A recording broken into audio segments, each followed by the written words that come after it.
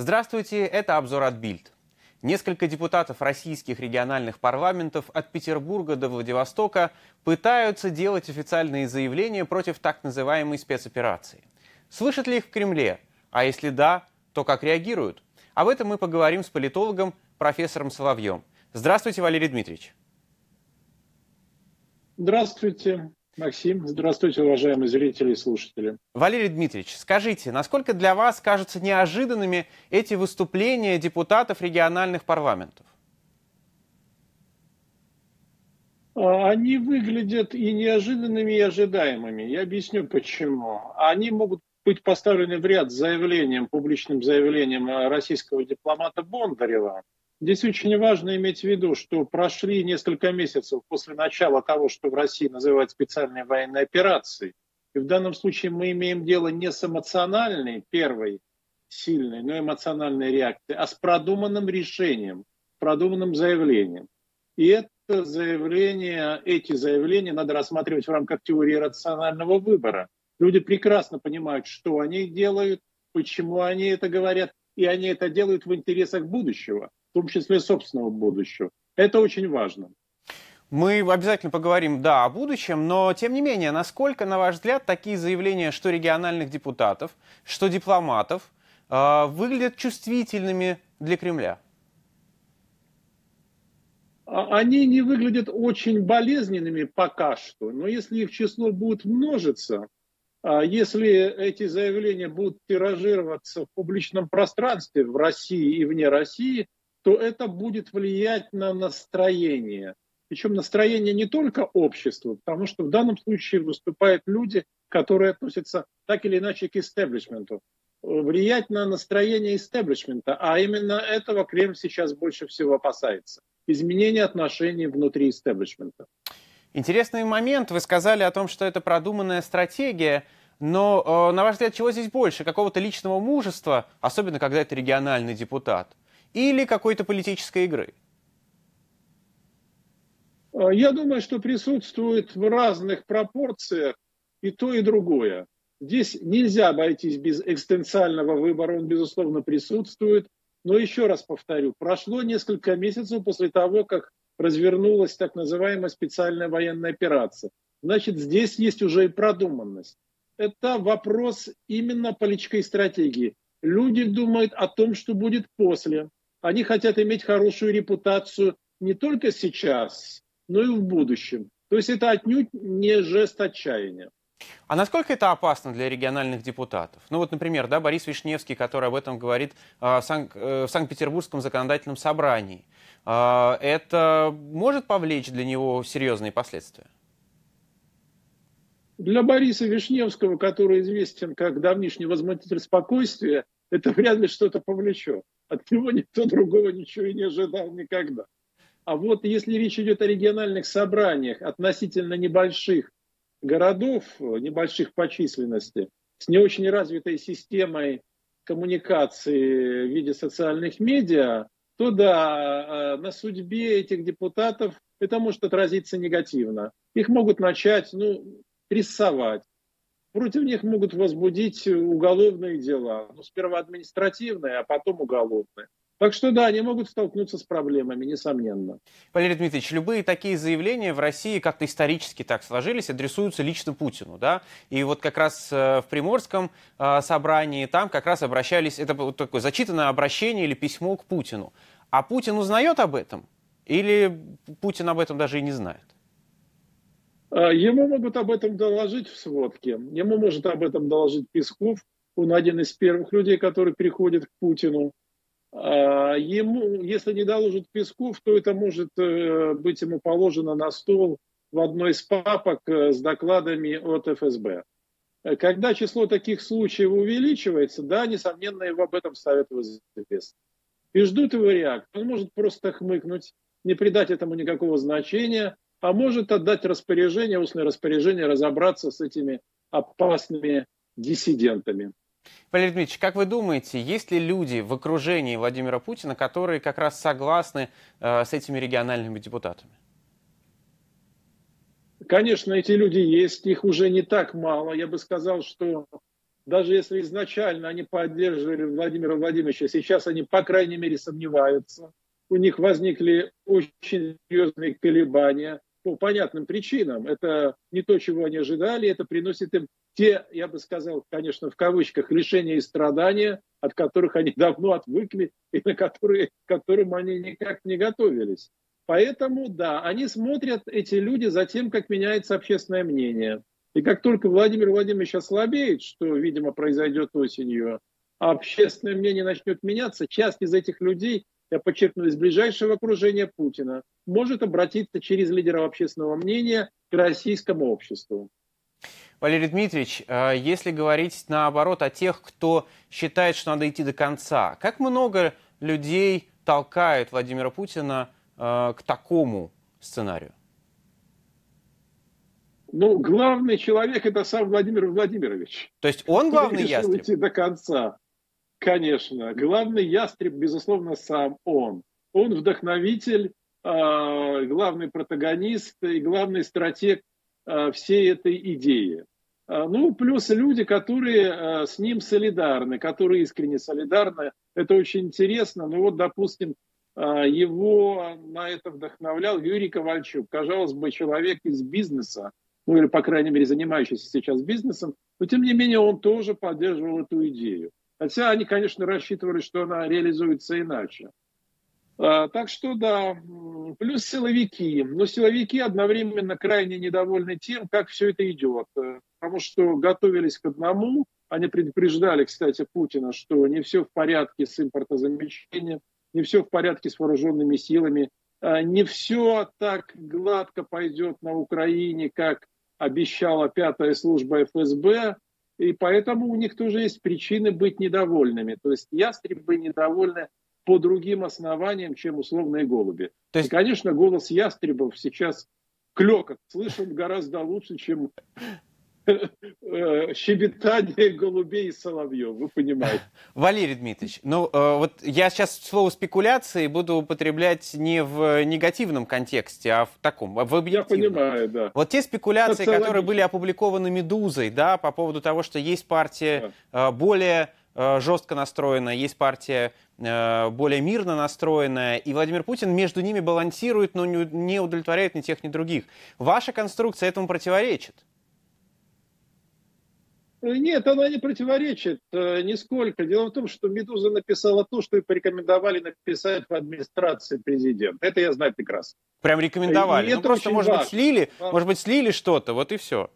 Или прям порекомендовали? Да, хорошо. Да, это, это поправка, это поправка, да, которую я принимаю. Это была э, модифицированная и дозированная информация. Она, кстати, отражает действительность. Но очень важно, что она подается так, как это нужно администрации. И это само по себе вносит в дискурс, да, в общественное мнение иную диспозицию. То есть администрация заинтересована показать в том, что есть недовольные Путиным, что называется, в самом сердце Мордора. Это чрезвычайно важно. Это очень любопытный сдвиг, согласитесь. Валерий Дмитриевич, а может ли, ну, давайте так это назовем, окончательный захват Донбасса, ну вот на данный момент, да, захват Донбасса, стать предпосылкой к концу войны? Или это невозможно? Э, конечно, Кремль бы хотел. Он бы хотел после этого, ну, если не подписать мирное соглашение, то хотя бы э, добиться перемирия, но на этом он бы не закончил свою операцию. Он все равно бы потом стал двигаться дальше и вперед. Это, это уже понятно. Но э, в данном случае осталось дело за малым уговорить Украину, Великобританию, Соединенные Штаты уговорить их, как вы видите, просто невозможно. Ну, Поэтому что значит, э, пока только начали уговаривать. Продолжим. Как вы оцениваете как раз заявление Киссинджера по этому поводу? Как очень успешную политику, внешнеполитическую политику Кремля. Она а, имеет своей целью отколоть Европу, Европу от а, Соединен... Евро, ну, от там, англосаксонского альянса, и попытаться повлиять на настроение в истеблишменте внутри Соединенных Штатов. Но пока что это не получилось. Ну, точнее, э, Европа занимает особую позицию, мы это видим, потому что говорят итальянцы, французы, немцы, ну и примкнувшие к ним Венгрия с Кипром. Вот. Но а, Соединенные Штаты и Великая Британия пока твердо стоят на своей первоначальной позиции. Думаю, а, продолжат ее придерживаться. Валерий Дмитриевич, давайте представим, а, что это чей-то хитрый план, может быть, самого Владимира Путина, а может быть, каких-то его приближенных, распустить слухи о его болезни. Ну вот специально, например, теоретически. Допустим, он обманывает и вас, и меня, а, и так далее. Зачем правители иногда так делают? Ну, это известная азиатская византийская хитрость, э, когда вы хотите проверить лояльность. Но дело вот в чем. Поскольку эти слухи сейчас возвращаются в Россию, точнее направляются в Россию из западных медиа, в том числе вполне себе респектабельных, и от людей, которых никак нельзя назвать маргиналами, а которые принадлежат к истеблишменту, то это на самом деле вполне себе сознательная информационная стратегия Запада, который хочет тем самым показать российскому истеблишменту, что, дорогие русские визави, вам не надо полагаться на Путина. Его слово не будет скоро стоить ровным счетом ничего. Ни на какие гарантии Путина. Подумайте о будущем здесь и сейчас. Типологически это похоже на то, что американцы делали осенью прошлого года, когда через Bloomberg и другие СМИ они стали сообщать о готовящемся вторжении России или о начале операции России против Украины. Вы помните, это была сознательная информационная стратегия призванная отсрочить эту операцию и смешать карты российского руководства. Сейчас происходит нечто похожее. Валерий... Информация, на которую они полагаются, надежна и объективна. Валерий Дмитриевич, если а, завершать эту тему и наш сегодняшний разговор, ну завтра, допустим, Путин по каким-то причинам действительно не президент. И что? Что-то поменяется? А, поменяется очень многое.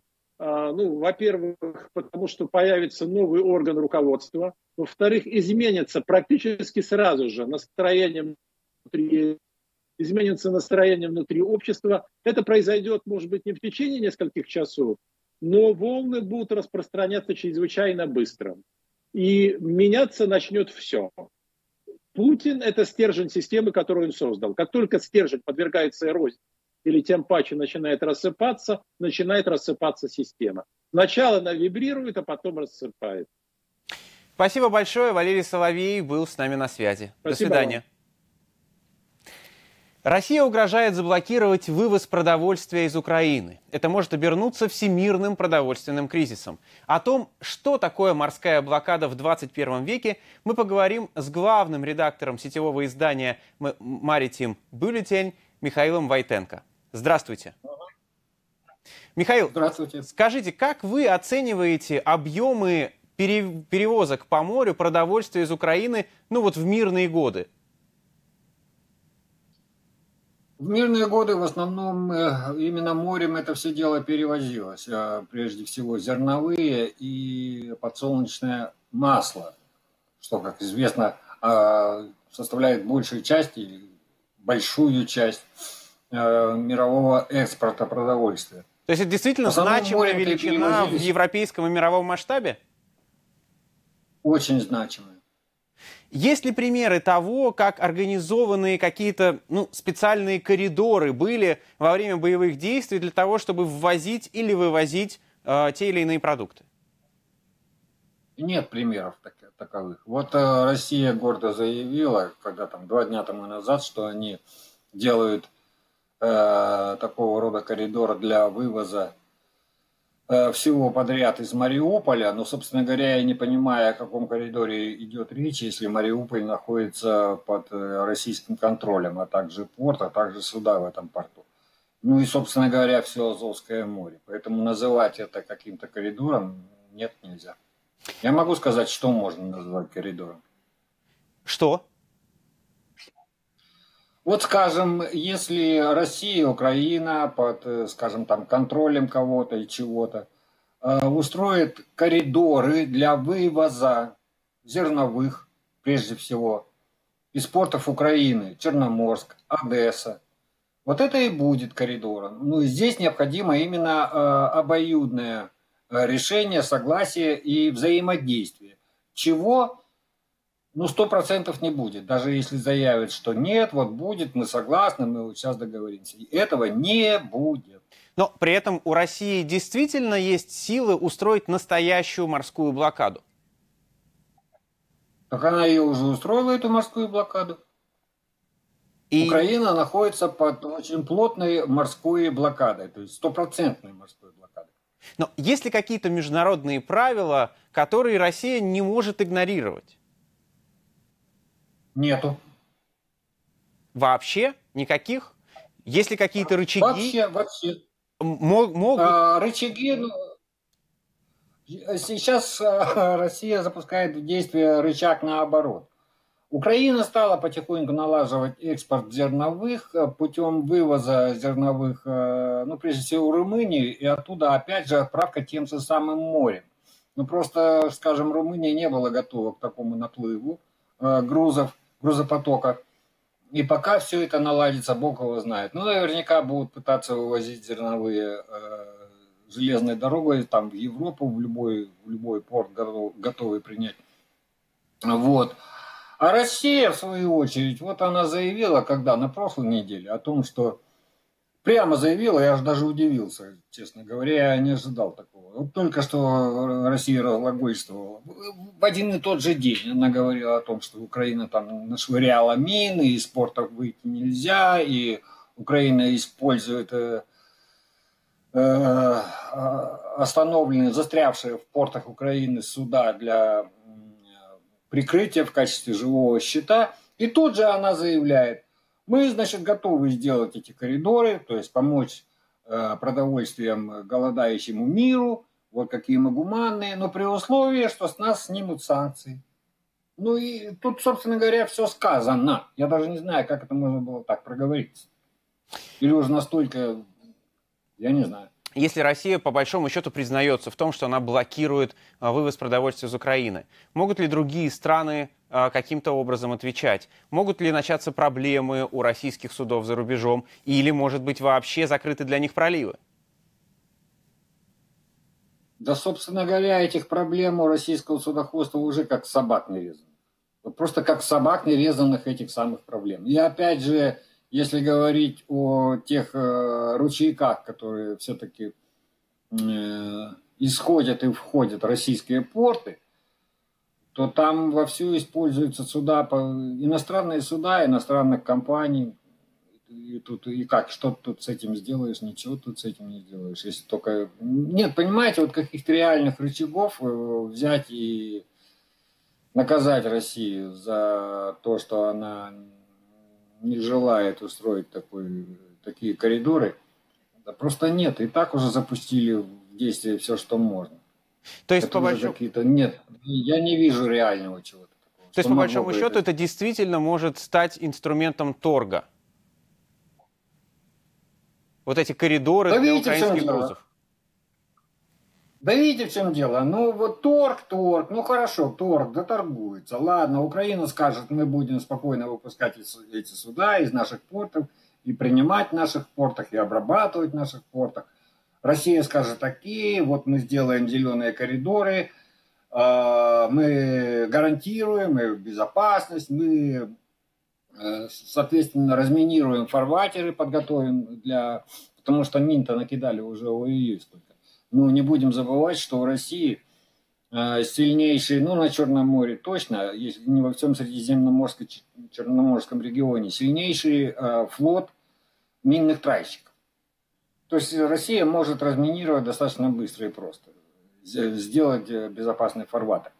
Но где гарантии того, что Россия, а может быть даже Украина, возьмет и не нарушит вот этот вот зеленый коридор, гарантии, и каким-то образом, значит, из-под тяжка не обстреляет, не потопит какой-нибудь транспорт. Ну где, кто даст эти гарантии? Кто верит кому сейчас?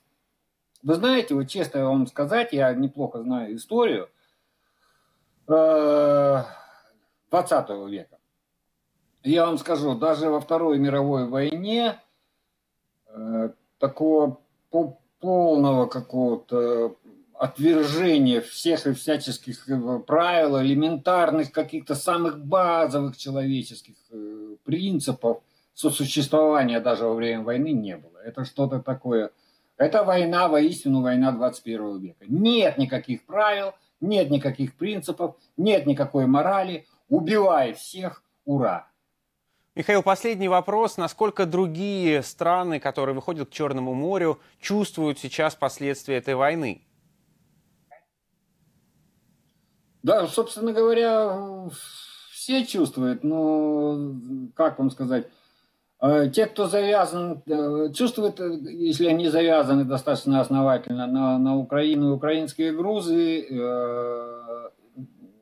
для кого-то это уже в каком-то смысле становится в чем-то выгодно. Ну вот, например, Румыния, Константа сейчас завалена этими грузами угу. украинскими. Вести-то через чего-то надо. Наверное, Болгария последует примеру Румынии. Э, а насколько наладить. для их судов сейчас безопасно Черное море? Потому что, ну, мина такая вещь, которая может безопасно, отплыть безопасно. куда угодно. Безопасно. Вот, вот смотрите, вот э, от Змеиного и дальше южнее и юго-восточнее судоходство э, цветет, так сказать, и пышет, то есть э, бьет ключом это судоходство, его не трогает. То есть вот ограничено ну, тут Россия это тоже не может палку перегибать. Если она начнет, так сказать, давить и крушить все подряд в Черном море, все, что шевелится, да, ну, тогда уже действительно не исключено, что НАТО ведет свои военно-морские силы. А какова реальная боевая мощь э, российского военно-морского флота на Черном море, мы уже успели убедиться на примере борьбы с ним Украины. Спасибо большое. Вот это, собственно говоря, вообще да, спасибо большое, Михаил. Спасибо. До свидания. Издание До «Медиазона» свидания. попыталось посчитать все официальные сообщения о гибели российских солдат. Что из этого получилось, мы поговорим с редактором «Медиазоны» Дмитрием Трещаниным. Дмитрий, здравствуйте. Привет. Дмитрий, расскажите, как вы попытались посчитать э, сообщения о смерти российских военнослужащих и что из этого получилось, сколько вы их насчитали? Ну, глядите, на самом деле тут важно подчеркнуть, что мы считаем э, публикации э, родственников или публикации в каких-то медиа, в том числе в официальных, ну, практически все, на самом деле, публикации так или иначе проходят через официальные медиа, потому что вся информация проходит через военкоматы, это вполне себе официальные структуры. Э, и этих сообщений, на самом деле, э, много, но не так много, как, например, заявляют э, украинская сторона и как, даже как заявляют э, западные аналитики. То есть если украинская сторона, если я не ошибаюсь, сейчас говорит о потере, э, о, о, смерти до 29, даже больше, может быть, уже тысяч человек, да, а военные аналитики западные говорили еще в апреле о том, что погибло от 7,5 до 15 тысяч. У нас совершенно другие цифры, и это понятно совершенно. А, мы видим только то, что нам дают увидеть. А, и мы насчитали сейчас, вот у нас на сайте стоит цифра 2622 человека, но поскольку мы обновляем нашу статистику примерно раз в две недели, я могу сказать, что при следующем обновлении мы уже уверенно перевалим через 3000 человек. Это как бы мы видим это по динамике, что вот мы сейчас как раз подбираемся к 3000, и у нас в так, бэклоги, скажем так, если уж говорить э, с терминами, то есть люди, людей, которых мы нашли, но еще не проверили, не поняли, действительно ли эти люди имеют отношение к войне в Украине, у нас уже там человек 200 накопилось, это порядочная цифра. То есть я правильно и... понимаю, что вот да. эти около трех тысяч человек, это то, что российские власти так или иначе разными своими уровнями, ну, по большому счету, признают?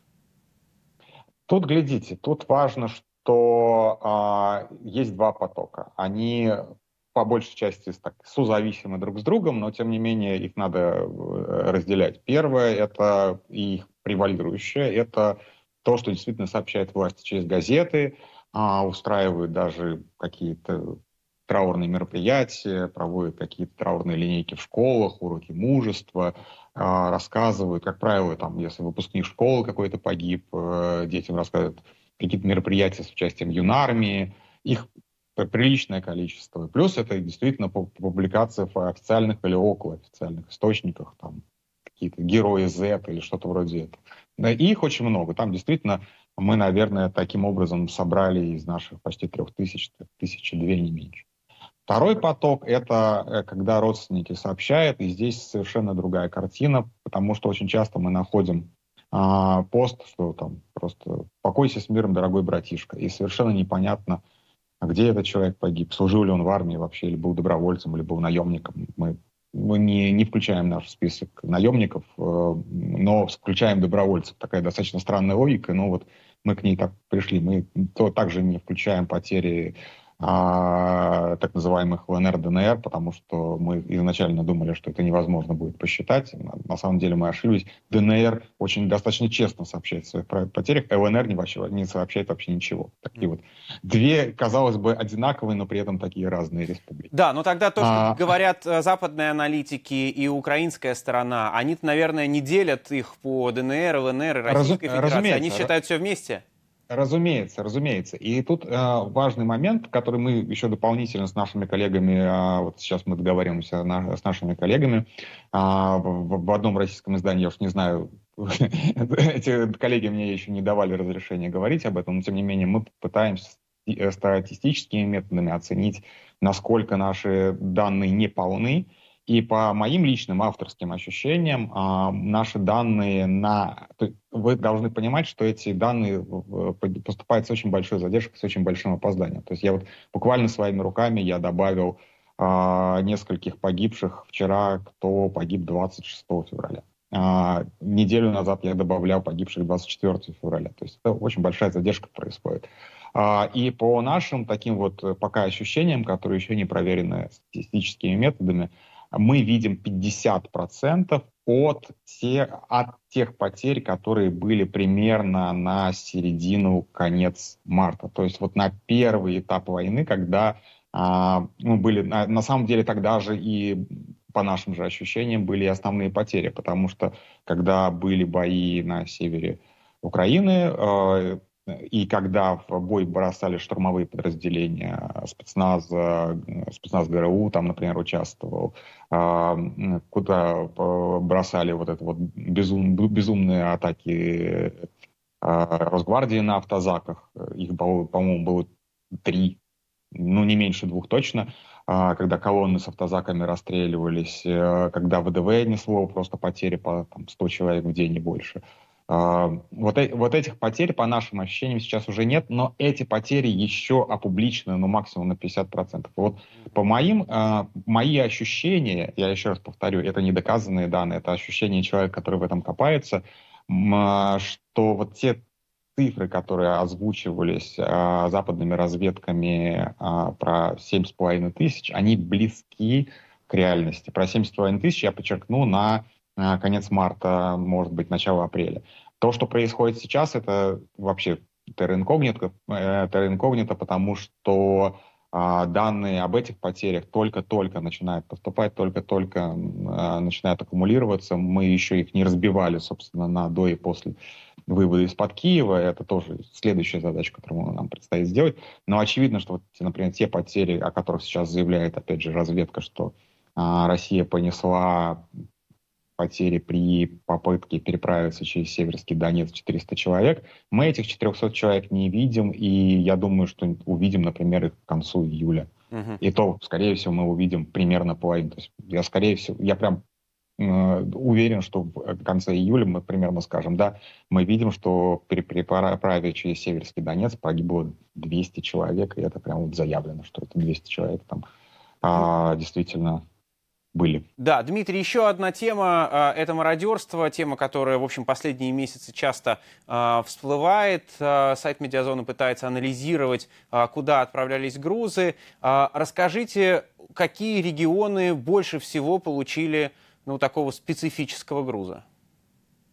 Тут нельзя сказать, что какие-то регионы можно выделить, потому что буквально в мародерстве по, по тем данным, которые мы получили только с одной курьерской службы, я подчеркну, что а, мы исследовали только одну службу, и то только потому, что у нее просто самые открытые данные, а, э, мы видим, что в этом мародерстве участвовала вся Россия, вот буквально от Калининграда до самого-самого Дальнего Востока. И здесь выделяются скорее не регионы, здесь выделяются небольшие, на самом деле, города, типа Юрги или Чебаркуля, но зато в этих городах стоят э, крупные воинские соединения. То есть, если говорить про Чебаркуль, то там два танковых полка.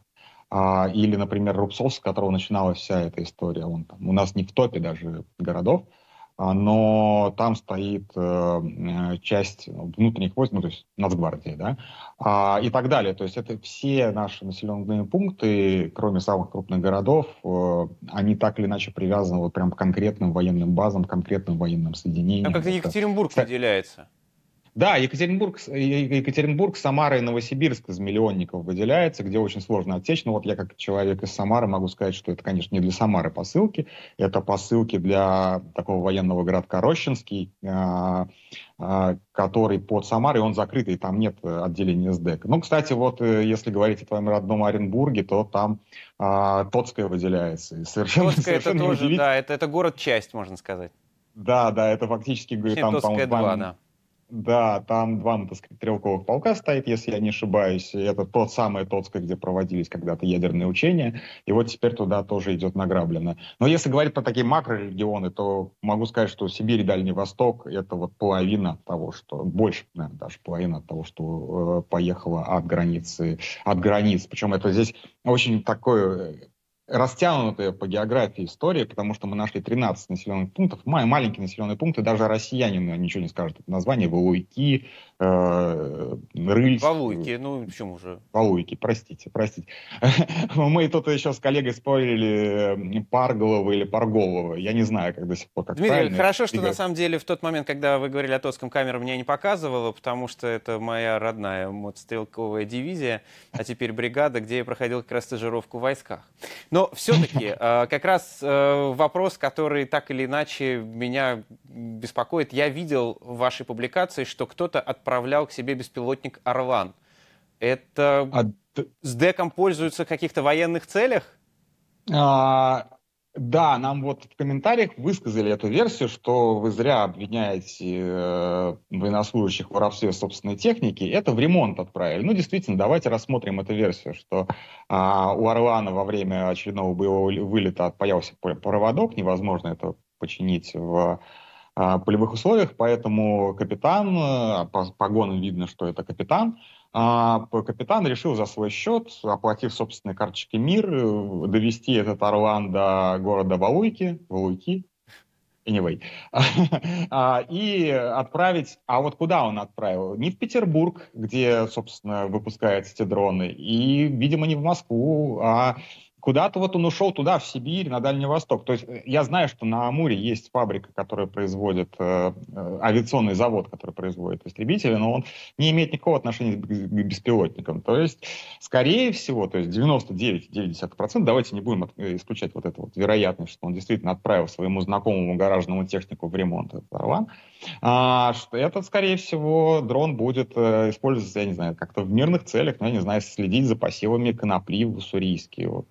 Какие еще варианты могут быть? Для чего еще можно использовать Орлан? Это же не дрон, который зависает, он должен лететь. То есть это такая, такая техника, которая покрывает достаточно большие расстояния, но при этом не может зависать. Да, он может сбрасывать бомбы еще. Я не знаю, зачем, например, там в Уссурийске или в Чебаркуле сбрасывать бомбы. Дмитрий, ну вот мы говорим об этом мародерстве и об этих посылках, а о каких объемах идет речь? Ну, мало ли, ну, действительно, кто-то что-то себе взял, наверное, несколько десятков, может быть, сотен тысяч килограмм, и все?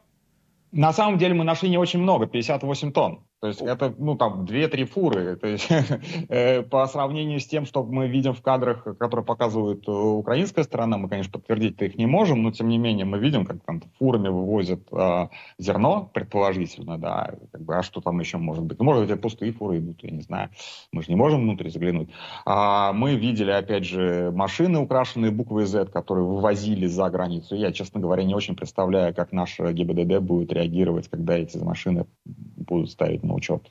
А, ну, может быть, как через ДНР и ВНР, как раз мы же признали их дипломатически, может, они на номерах ДНР теперь будут ездить, все эти машины. А, а, у нас как бы здесь очень простое. А, боец а, не располагает собственной техникой для вывоза. Ну, боец, я имею в виду, там, наверное, как раз до уровня капитана или майора, не располагает специальной техникой для того, чтобы вывозить награбленное, в отличие от генералов, которые могут себе позволить такое. А, поэтому он везет в, том, в той технике, которая ему которая ему подчиняется. То есть, как бы, если это мотострелковая дивизия, то, соответственно, БМП или БТР, вот сколько места позволяет внутри, столько и везут.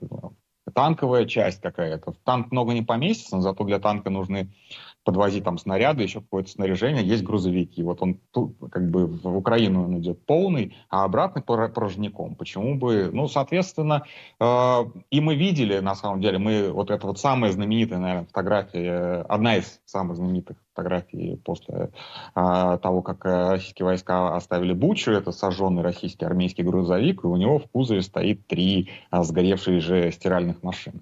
Не знаю, мы где не вы смотрите такие фотографии, Яндекс такого не показывает. Да, Яндекс такого не показывает, надо смотреть в Гугле, если что. Я специально вот даже, я когда, вот э, мы сами монтировали для себя видео, которое можно посмотреть у нас в канале Медиазона, и мы как раз, я как раз искал иллюстрации для этого видео, забил в Яндексе сгоревший э, грузовик со сгоревшими стиральными машинами. Э, мне все выдало, я такой, а, проверю-ка я в Яндексе, как этот запрос работает. Идеально работает, никаких, никаких грузовиков сгоревших, просто только стиральные машины. Спасибо большое. Дмитрий Трещанин э, был с нами на связи. До свидания. До свидания. Это был обзор от Бильд. Не знаю, как насчет морской блокады, но информационную блокаду вы точно прорвать можете. Чем больше вы поставите лайков, тем больше людей посмотрит это видео. Подписывайтесь на YouTube-канал Бильд на русском и на телеграм-канал с таким же названием. До свидания.